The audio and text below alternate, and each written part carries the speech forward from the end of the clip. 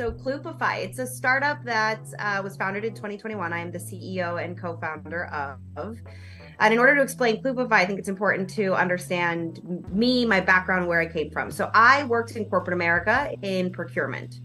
Procurement's the action of buying goods and services. We feed organizations and we keep them running smoothly. We work with suppliers, and I was managing around $600 million of spend through the second largest merger in history. So when Dow and DuPont merged into one and then split into three independently traded companies, set the strategy for various of those commodities. And you know, during the pandemic, I did to what probably many people did is I took inventory of my life and said, Am I doing the things that I want to be doing? And the answer was no. And the reason was fear. And that is just not a good enough reason.